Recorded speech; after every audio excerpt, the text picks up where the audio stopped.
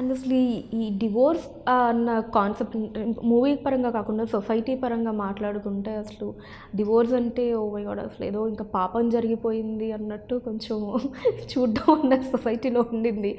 And అందులోనూ ఈ celebrity breakups ఇవి అనగానే ఇంకా అవి ఆబ్వియస్లీ హెడ్లైన్సే ఇంకా.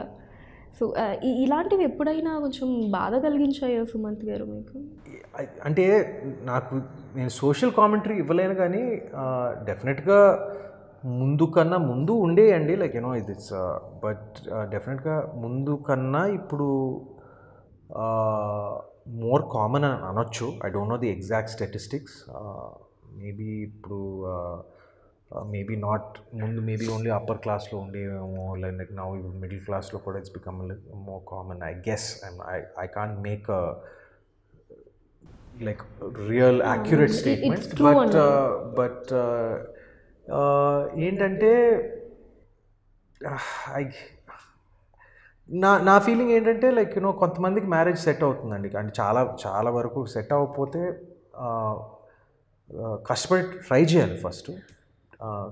ట్రై చేశాక కూడా వర్కౌట్ అవ్వకపోతే లైక్ యూనో ఇట్స్ ముందులాగా ఇది ఒక ముద్ర పడిపోవటం అనేది అది లేదు జనరల్గా. కొంతమందికి బాధ వేస్తుందండి లైక్ యూనో ఇప్పుడు జనరల్గా ఇప్పుడు ఒక లాంగ్ డిస్టెన్స్ ఇంటెన్స్ రిలేషన్షిప్ తర్వాత బ్రేకప్ అయితే అది కూడా అది సేమ్ ఫీలింగ్ ఉంటుంది. Like you know so it's a part of సొసైటీనో మనం యాక్సెప్ట్ చేయాలి అంతే.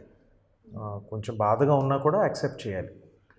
And the couple like you know they they move on and and if they are happier after divorce so be it all no my it's better for them okay and Naga Chaitanya Samantha గారి matter first మీరు విన్నప్పుడు what it you filter of course it's little unfortunate అండి.